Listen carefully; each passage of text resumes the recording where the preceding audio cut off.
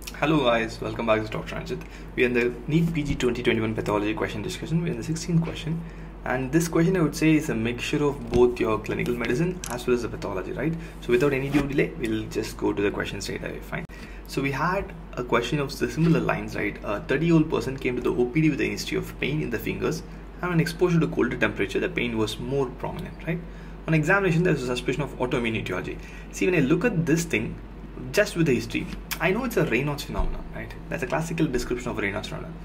But the etiology of Raynaud's phenomenon, if you look at Harrison, it's like an entire page. Many, many, many things can cause Raynaud. We have primary, secondary Raynaud's. There are lots of drugs and everything. Here, the question itself says that they are suspecting an autoimmune etiology. So when I come to rheumatological diseases, again there's an n number of things which can cause Raynaud's phenomenon, and all the four options unfortunately will cause Raynaud's phenomenon. So when I know only the clinical examination, these are my differential diagnosis, right? So that's the reason you have to go with the lab diagnosis of an ANA testing. At the same time, I'll talk about ANA testing as well, right? So when an ANA testing is done, it's said that there's a significant titer and the nucleolar pattern of ANA was found. So that gives me the clinches me the diagnosis.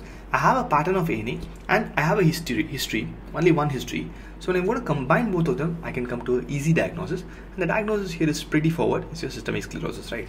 We'll look at why both are required, why the next PG, if like it's proposed to happen, whatever they are proposed, will be the best way because that's how medicine is being practiced outside.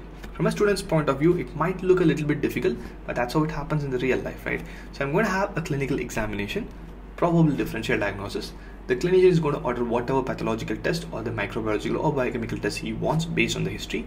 Then the pathologist is going to contribute, or the microbiologist or the uh, biochemist or whatever it is, right? Or the radiologist is going to give the inputs, and then there'll be a correlation, and then a diagnosis is going to be done, right? The reason why clinical medicine alone can't be the role is this: is the problem. I have all these things. See, these are all the cause of uh, your Raynaud's phenomenon from an rheumatology textbooks. Systemic sclerosis, mixed connective tissue disorder, SLE, Sjogren's, dermatomyositis, rheumatoid arthritis. That's why I said all the four options can cause Raynaud's. Not only that, look at that. Drugs, endocrine problem, trauma, arterial disease, everything.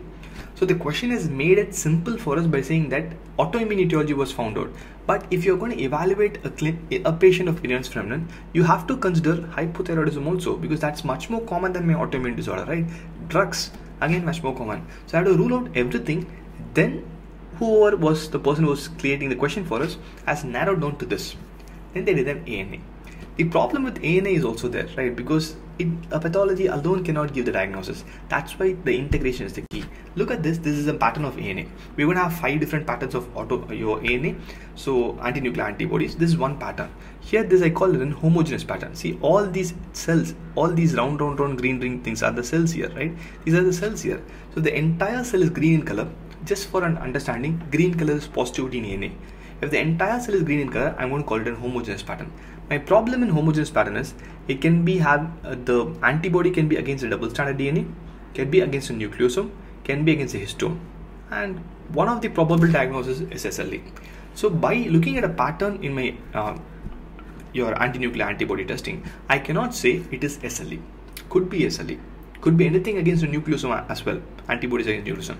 That's why I need a history and this pattern will come. That too the significant titer. We will talk about titer's importance maybe sometimes down the road because titer is very very important and interpretation of the titer makes the diagnosis perfect.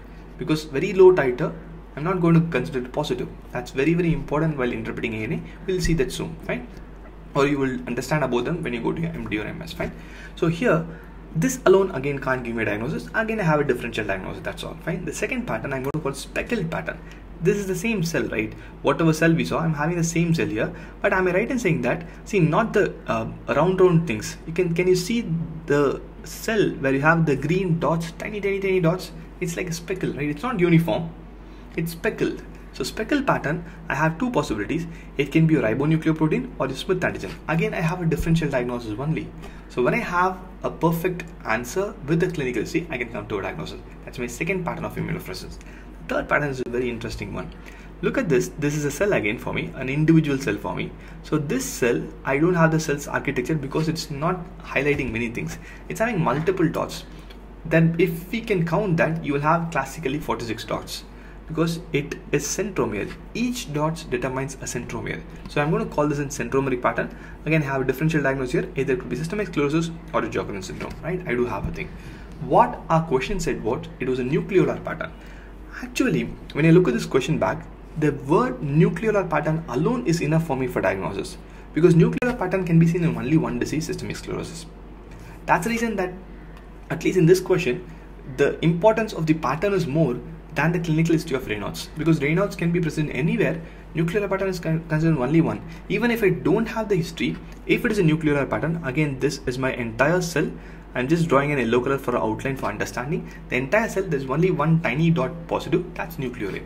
And nucleolar pattern you see in an ANA with a significant titer and definitely going to call it systemic sclerosis.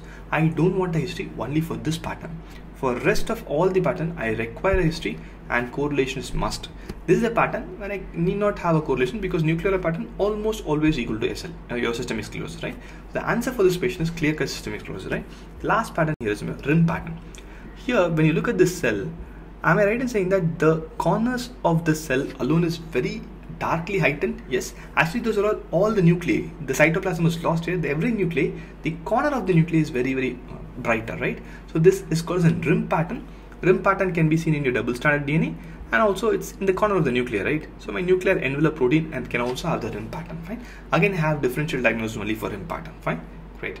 So what we saw is a perfect question which uh, equal balance of the clinical information and the laboratory thing. So undoubtedly, I would require inputs from the clinical side, from the patient examination side, as well as from the microscopy or the laboratory or any test, so that I can come to a perfect definitive diagnosis Thankfully, the diagnosis was asked here. If the management is asked, the examiner wants you to do the diagnosis, right? Mentally come to the diagnosis, then something related to the diagnosis, a question can be asked. That also can be happening in future, right? Thank you for your time. This was a very good question setup. Hopefully, in future we will try to test ourselves in this basis rather than going with most commons and more theoretical stuff. This will make our memory brain cells work a bit more and we'll have more clarity in understanding of the concept and applying of the concept. This is just application. It's not just understanding fine? Hopefully the next pattern or the proposed whatever it is will make our exam much more better and good for us right? Okay? Do download the Unacademy app and we have your INICET preparation starting and we are going to create lots of free content for you in the form of special classes we'll evaluate more and more cases and then we'll come to a conclusion fine? If there's any errors in the recall like age gender anything just do comment so that i can define it and i can give the best possible outcome for you or for your junior batches fine? Thank you for your time. See you soon. Till then bye bye from dr Ranjith bye